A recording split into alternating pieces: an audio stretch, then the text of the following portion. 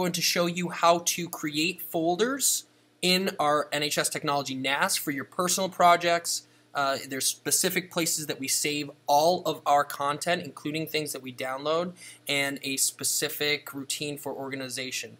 This guarantees that you will not have anything deleted off the computers because if things are saved in the wrong place, I tend to go in and I just start to delete if I don't know where what things are or where they are supposed to be. So, in Finder, we're going to go to NHS Technology NAS. If you can't get there from here, you can get there from Shared, and if it comes up with this error, then you can go to All and NAS right here. Also, make sure that the Ethernet cable is plugged into the back. Sometimes it comes loose, then you can't access the our local network. From here, we can go to NHS Technology NAS and NHS Technology NAS the folder. We're going to see my class folders, some student individual projects, but when you create your uh, projects, you're going to do that in the events folder. Now notice in the events folder, we have this very specific way that we name things. If we right click, we can make a new folder, and inside of here, we can name it the date. You start with the year, dash, not forward or backslash, and say it was February 1st.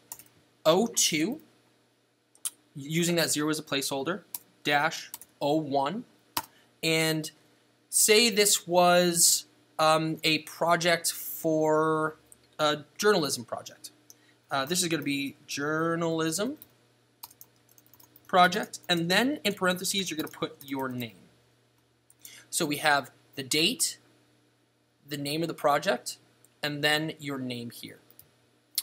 If you double click into that, now we're going to make five folders inside of here.